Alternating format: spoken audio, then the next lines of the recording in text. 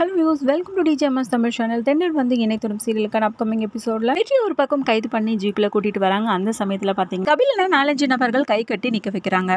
காரில் வந்துட்டு இருந்த அபி என்னாச்சு? என்ன நடக்குதுங்க? அப்படின்னு சொல்லிட்டு இறங்கி வந்து பார்க்குறாங்க ஆப்போசிட்டில் உள்ளவன் சொல்கிறான் நான் கஷ்டப்பட்டு ஆந்திராவிலேருந்து எல்லா பொருட்களையும் வந்து காஞ்சிபுரத்துக்கு ஏற்றினா இவ எல்லாத்தையும் வந்து தடுப்பானா? அப்படின்னு சொல்லிட்டு வெற்றியை சொல்கிறாங்க அதனால் எனக்கு எவ்வளோ இழப்பு ஏற்பட்டிருக்கு? இது எல்லாத்துக்கும் காரணமான இவனை சும்மாவே விட மாட்டேன் அப்படின்னு வெற்றியை சொன்னதும் இன்னொரு பக்கம் கபிலன் மனசுக்குள்ளேயும் நம்ம அபியோட மனசுக்குள்ளேயும் உண்மை வந்து தெரிய வருது. வெற்றி மேலே எந்த ஒரு தப்பும் இல்லை அப்படின்னு. சரி காஞ்சிபுரத்தில் யாருக்கு இந்த பொருளெல்லாம் வித்தா அப்படின்னு சொல்லிட்டு கபிலன் கேட்கான் பார்த்தியா போலீஸ் மூலம் பத்தி எப்படி வேலை செய்யுது? அதெல்லாம் நான் சொல்லிட்டுன்னு பார்க்குறியா அப்படின்னு சொல்லிட்டு மிரட்ட ஆரம்பிக்கிறாங்க. இதில் ஒரு நபர் அபியை துரத்த பார்க்குறாங்க கார் கிட்ட போயிட்டு கண்ணையும் வந்து எடுக்கிறாங்க. அந்த சமயத்தில் சமயத்தில் வெற்றி தான் அப்பா அப்படின்னு சொல்லிட்டு எழுதியிருக்காங்க அந்த ஆதாரத்தோட உள்ள பேப்பரையும் வந்து கீழே போட்டுறாங்க.